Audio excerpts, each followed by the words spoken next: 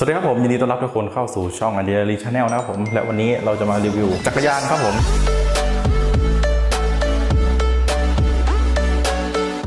รุ่นนี้มีชื่อว่า Tech Domani AL2 Disc นะครับผม โอเค จะเป็นยังไง เดี๋ยวเราไปติดตามชมครับ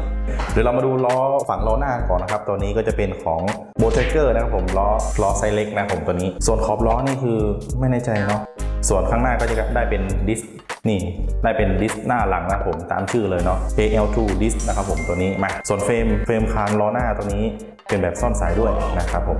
สวยสวยจัดเลย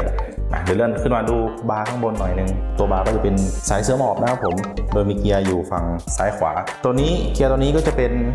16 เกียร์นะครับผม หลัง 8 หน้า 2 นะครับผม วิธีการเปลี่ยนเกียร์ก็จะอยู่อยู่ที่คันเบรกจ้าบมากตัวนี้ นี่คือเบรกนะครับผม เปลี่ยนเกียร์ก็ดันใช้เป็นนิ้วชี้นะครับผมเวลาขับอย่างนี้เนาะ นิ้วชี้ดัน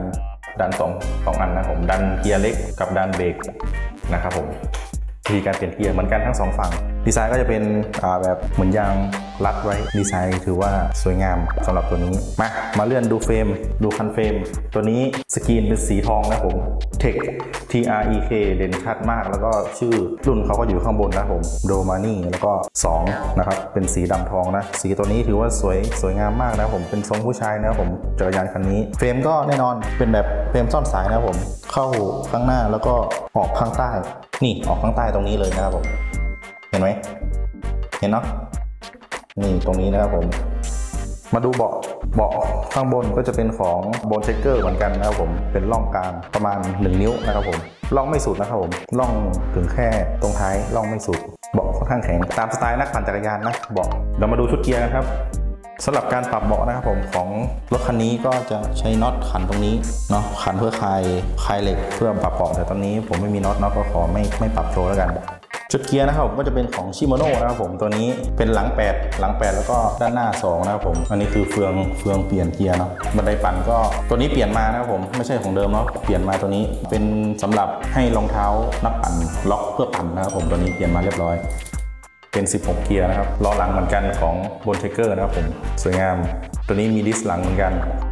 แล้วก็อ๋อมีอีกตัวหนึ่งของแต่งตรงนี้ครับผมสามารถแต่งเพิ่มได้เป็น DuoTrap นะครับผม ใช้สำหรับวัดรอบแล้วก็วัดรอบขาแล้วก็วัดความเร็ว น่าจะประมาณนี้เนาะตรงกลางเฟรมนะครับผมก็สามารถใส่กระบอกน้ำได้ ตัวนี้ติดตั้งเพิ่มขึ้นมา จะมีน็อตให้ 2 ตัวนะครับผมติดตั้งเพิ่มสำหรับใส่กระบอกน้ำอันนี้ก็ติดตั้งเป็นที่เรียบร้อยนะครับผม ค่าตัวของเขาก็อยู่ที่ประมาณ 20,000กว่าบาทนะครับสำหรับ รุ่นตัวนี้ Tech Domani 2นะครับผม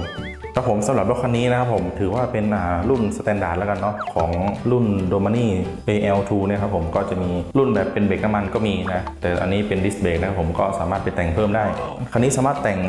ตอนท้ายได้ด้วยนะครับผมก็มีได้หลายอย่างเนาะใครสนใจก็ลองไปหาซื้อดูนะครับผม ถ้าชอบคลิปนี้ก็อย่าลืมกดไลค์กดแชร์กด subscribe ด้วยนะครับผมคลิปหน้าเราจะมารีวิวอะไรกันให้ชมอีกก็ช่วยติดตามชมด้วยนะครับสำหรับนี้ขอตัวลาไปก่อน สวัสดีครับ